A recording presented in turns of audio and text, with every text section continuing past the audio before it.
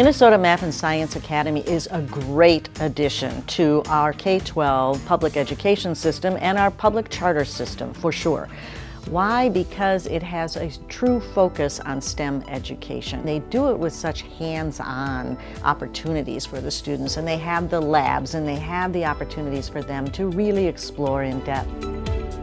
You know, we do things like STEM. We teach engineering, robotics, coding as part of our curriculum. I believe robotics specifically teaches kids to be team members, to collaborate their learnings, because it also teaches them how to be problem solver, critical thinking, collaboration, being a good team member. So our students are also able to compete in Robocon, MathCon, science, spoken word, and they compete against other concept schools in the Midwest. Last year we had about 40 students that took a charter bus to Chicago to compete over a weekend. Our counselor works with all of our students a lot, starting all the way in ninth grade up through senior year. As seniors, they work very closely with her to work on their FAFSAs and their college applications. Um, they do uh, practice ACTs and take the ACT test as juniors. Um, so we're always trying to make them ready for what they'll see in college. We offer uh, advanced courses like honors, AP courses. We provide PLTW courses for them. Uh, we organize college trips.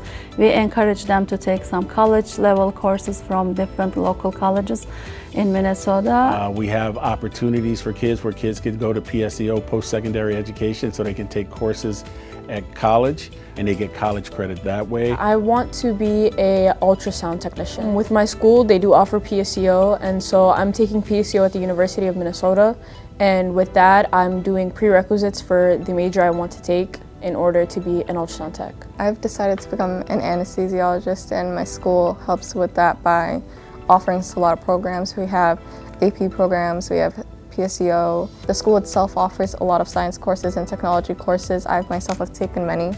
So there's ways our students are accumulating their school credits and they can even get college credits so that they can start college early and prepare them for that.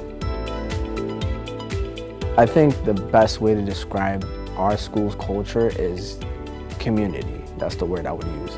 Everybody here moves and operates like a family, like you were at home. We are an extremely diverse school. About 95% of our students are East African. We try to provide uh, some kind of culturally responsive learning environments for them. We understand their needs, uh, everything from prayer to halal foods to what, whatever. Especially for our religion reasons, they understand there's times that we need to go to pray they understand that sometimes during the Ramadan we're fasting. We do have lots of staff members here who are East African as myself and we have people at the front office who speak certain languages as well to help accommodate for this.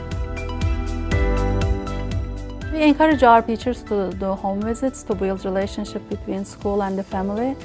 Each teacher are uh, encouraged to do at least two home visits. Parents are so welcoming and they are opening their doors, their hearts. In addition to that, we have Parent Academy. Uh, we try to empower our parents so they can support their kids at home. They're reaching out, they're communicating with us, so we have a very good relationship and we love our teacher. Our students participate in what's uh, called CYSP, which is the concept uh, Youth Scholars Program. So that also gives them opportunities um, outside of the school day. It builds leadership. Uh, it's an optional program, students are welcome to join, and it goes over character building, a little bit of athletics, college preparatory skills, studying, how to improve yourself, not only in the academics, but also on a personal and individualized level. I had attended CYSP and that was a really big changing program for me in my um, life. Um, CYSP taught us how to be very independent and showed us real life problems that we can solve. I really loved how we could um, spend time together outside school hours and also get to know each other on a very personal level. Going outside, they're getting you know, they're playing games, they're playing whether it's soccer, basketball, or like, you know, fun games outside with their teachers. And then even towards the end of the year, you know, for kids that are interested, we send them out of the country to go on, you know, create amazing trips. This year, uh, they're going to Peru for the kids that want to go. So it's a very amazing program.